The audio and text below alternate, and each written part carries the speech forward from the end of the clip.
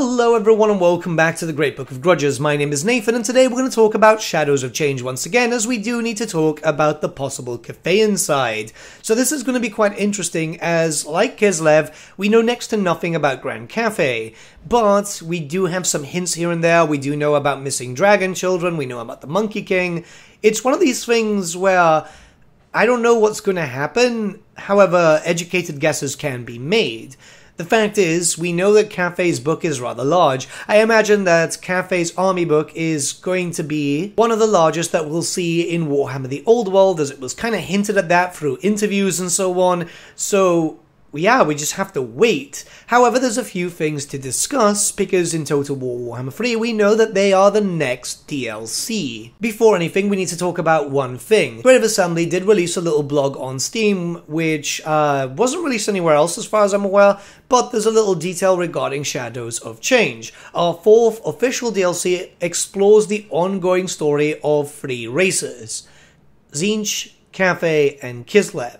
So, ongoing story is going to be quite interesting, considering the fact that, well, Kislev, as far as we are aware, the story is done.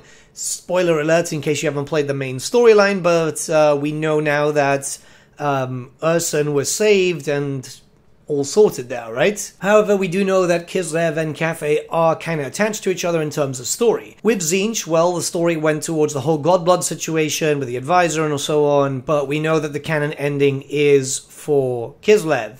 With Cathay, we know once again canon ending was Kislev, but we did find out that a missing dragon child, Shen Zhu, is in Norsca. We don't know exactly what's going on. Apparently, Ursun had witnessed her fate, but Ursun wasn't really too clear on the situation. What we do know is that Shen Zhu is the youngest sister of the family, and uh, she's like the light bringer and hope bringer for the Cathayan dragons. It could be that the DLC will focus on Kislev and Cathay working together to find Shen Zhu and Tzeentch stealing her away, as obviously she'd be vulnerable and this is something that Tzeentch would actually do. But we know that there's a lot of different things happening in Grand Cathay, for example, the Fire Dragon, the Monkey King, and so on. So only really time will tell, but there are a few things to obviously go over as we do know some things about Grand Cathay.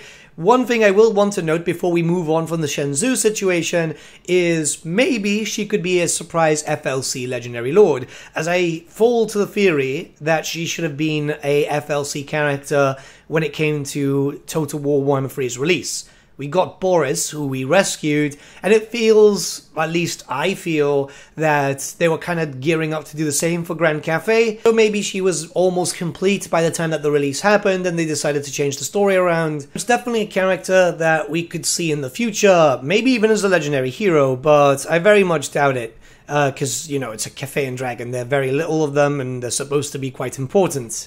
So Cathay right now is fine in certain places, not everywhere let's be honest here, mechanically they're fine. I imagine that the grand majority of the attention is going to go to fixing up Kislev, then to Tzeentch, then to Cathay, as you've got the yin and yang stuff that works as intended, everything works really well. Uh, pretty much anything mechanically is fine. I think the biggest issue with Cathay is the roster. As you can see here, it is very, very small.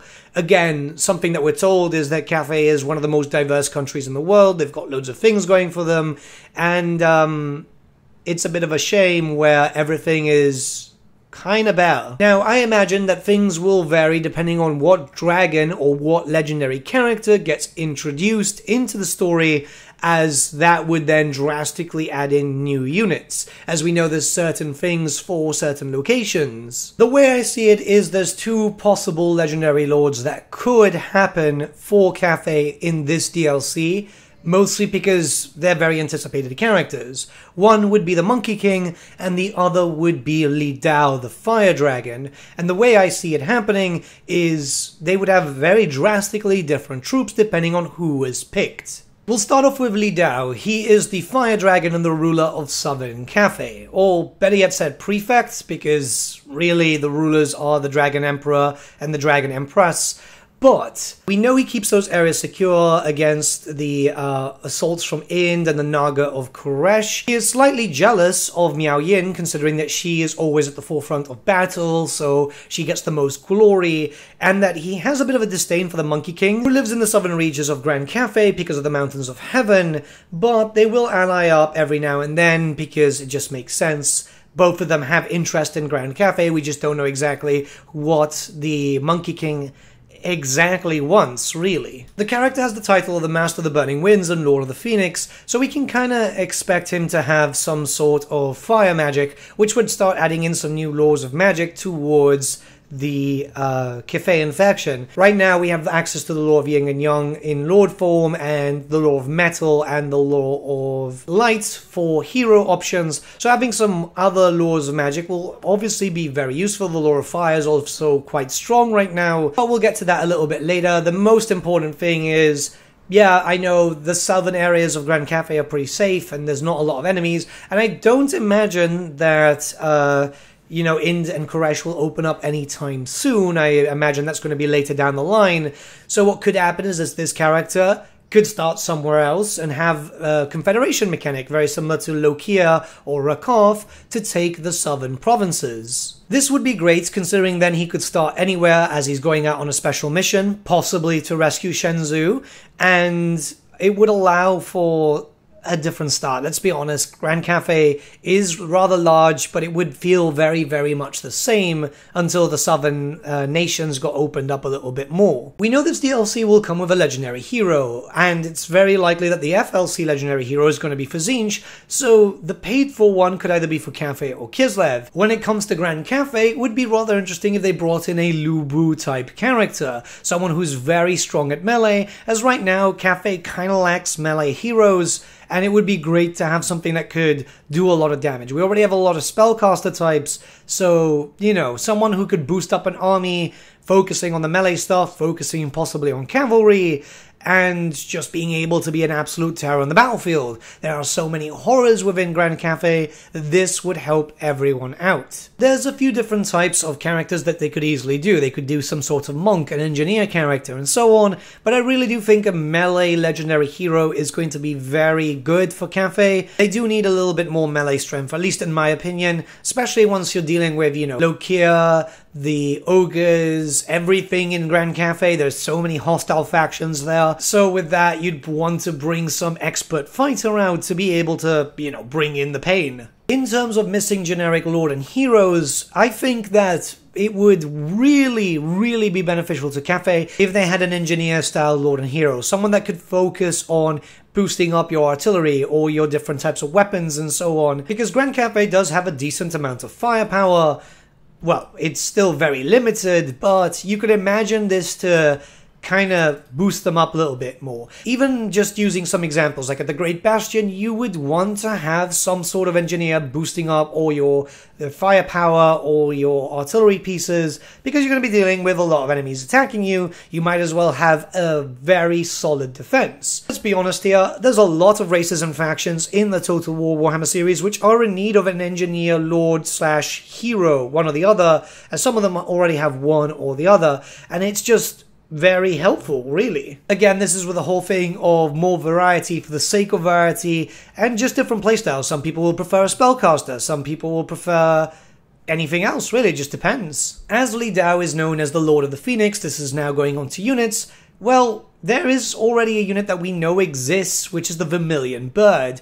Unfortunately, we don't know too much about them, but it's very likely that they're very much like phoenixes.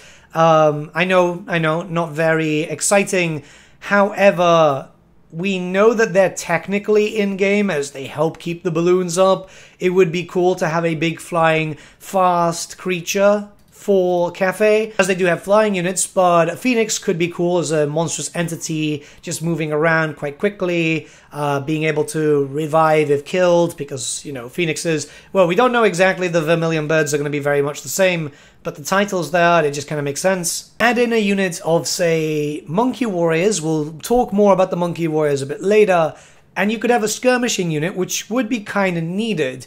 The fact is, we know that Li Dao and the Monkey King do actually try to work together. I wouldn't say get along because, well, you know, this is Warhammer, it's very hard to get along anyway. But yeah, it would make sense for him to hire monkey warriors to be able to defend his territories, and it might be the case that if he's trying to find Shen Zhu, he wants a skirmishing unit that'll be able to move fast through terrain, through trees, in an effort to have some extra strength, right? Again, he uses monkey warriors to defend Cathay. This is established lore, so why not use monkey warriors for a special mission? Maybe the Monkey King is kind of keen on what is going on and he wants to just hire out some troops in an effort to make sure that Cathay does not fall until he takes it over. You never know. And as Li Dao is known as the Fire Dragon, one would expect firepower, where maybe a Cathayan version of the organ gun could come in handy to deal with all the Chaos Warriors, obviously all the Chaos Dwarfs. You need some damage being done, right?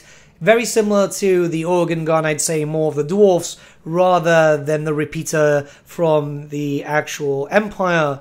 Though we know that Empire and Cathay kind of have very similar black powder weapons, albeit the Cathayan ones are supposed to be a tad more sophisticated. It would definitely be helpful if you're fighting loads of hordes, and again, this is a faction where you're fighting loads of hordes there's a lot of units that could be added in. There's a lot of stuff that we know about, like the Crowmen, uh, some Terracotta Warriors, and so on. But I imagine those will be more centralized Cathay rather than Southern. In all honesty, Games Workshop and Creative Assembly could have a lot of fun with this and make like the Southern Warriors a bit more non-mon style. You know, have some uh, fire dancers in a sense, just you know, fire weapons, loads and loads of fire and more tribal style warriors. I think that would be kind of cool as they're obviously close to the Mountains of Heaven. But they'd need to be very skirmish focused. They'd also have to be used to fighting quite stylized, I guess, uh, because you'd be dealing with like Tiger Men, which would be very, very quick.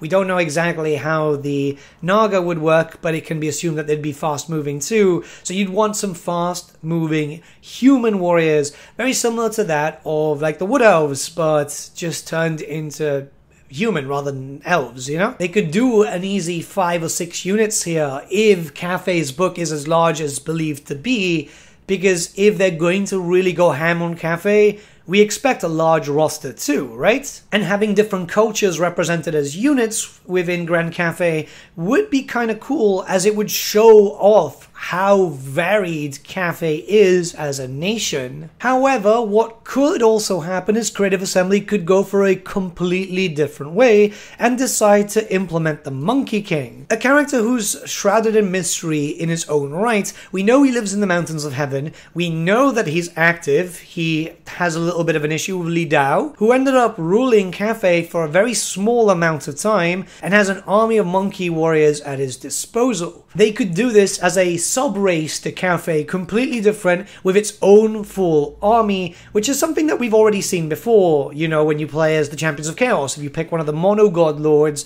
you can devote completely to one of the gods, right? Like if you play as Azazel, you can have full Slaaneshi armies.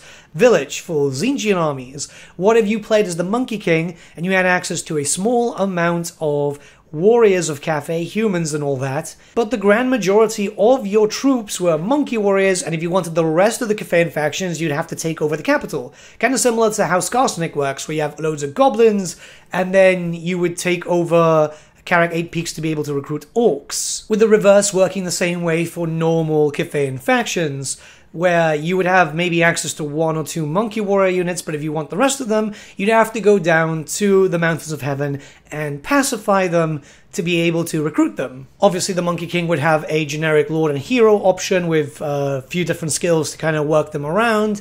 And you'd still get access to them with Grand Cathay, but you'd have to take over the area. We know that the Mountains of Heaven are kind of textured. You know, it looks like the area is poised for eventual expansion, but I don't know if it's going to be anytime soon. This would be really cool. The only problem is the same issue as Li Dao.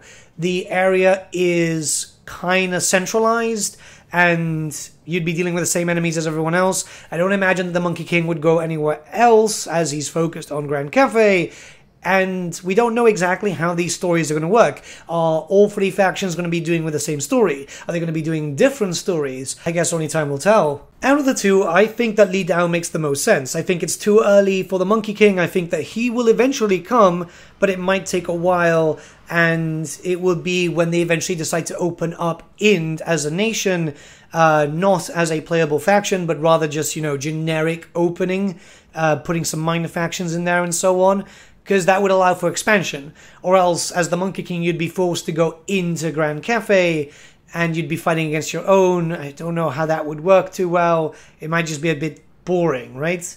Now, some other people might be saying, well, what about Yin Yin, the Sea Dragon, and so on? I think she'll come, but I think it's during the time where the Lizard Men will get their fabled rework, as it would make sense to have a Cathayan invasion of Lustria to relive that story from 6th edition, was it? And finally fix up the lizardmen, let's be honest there. Ultimately, it is very difficult to come up with speculation with the limited knowledge that we do have for Cathay and Kislev until we get those fabled army books.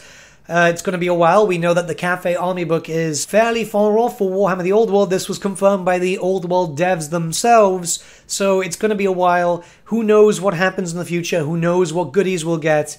Maybe you guys have some other thoughts. Let me know what you guys think in terms of lords, heroes, units, all that different type of stuff in the comments below. Let's start a bit of a discussion. Once we start moving on to Thrones of Decay, this will be a lot easier to talk about uh, because it's so easy to kind of think of units that are going to be potentially there. But with all that being said, have a great day, guys, and we'll see you all again very, very soon.